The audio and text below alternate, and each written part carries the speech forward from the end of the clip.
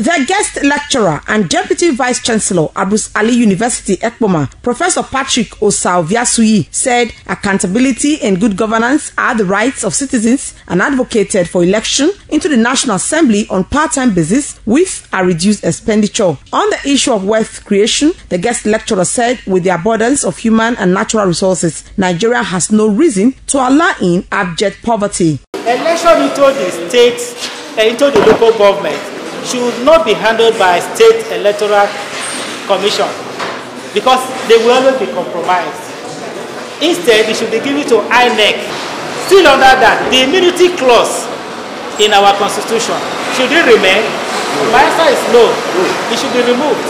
When somebody commits an offense in the first year of his uh, election, you have to wait till eight years time before you prosecute him. Before that eight years, all of us would have forgotten about that matter. The, oil well should not be given to any single individual. Rather, it should be collectivized because it is public wealth.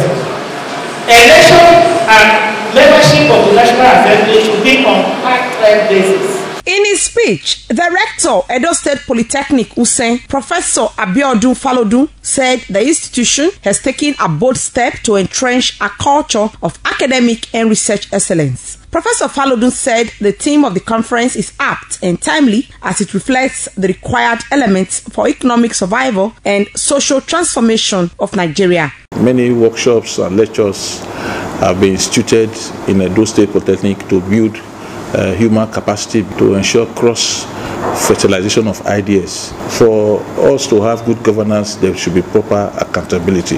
So the students have benefited greatly from this lecture. The head of department, Mr. Fred Ogbede, and other students said the conference was apt. The this conference are first to bring researchers and academics together in order to foster a common position to move this nation forward. If we can take our stand and vote for the right leaders, the Nigeria we pray for will come alive. Today's lecture was a very it was an amazing one because it has exposed both the weakness of the government and all in the sense that they should be accountable. The three-day conference ends on Wednesday. Best Mbiere reporting.